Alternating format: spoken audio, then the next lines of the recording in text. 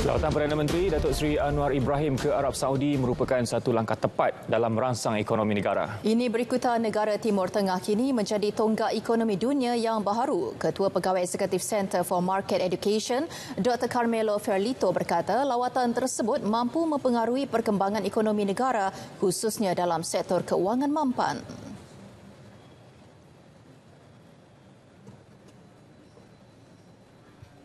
Recently in the United States, with the banking collapse and the crisis of the uh, Silicon Valley uh, industrial project, um, I, I, think that the development of an alternative system, also from the financial perspective and from the monetary perspective, becomes more and more crucial.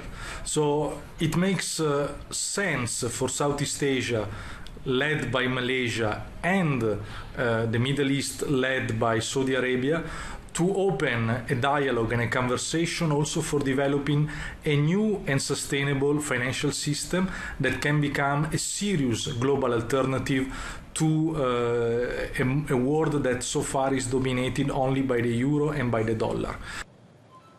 Tambahnya kerjasama Malaysia dengan Arab Saudi penting bagi menghadapi persaingan global meliputi persaingan pemain industri baharu dalam pasaran.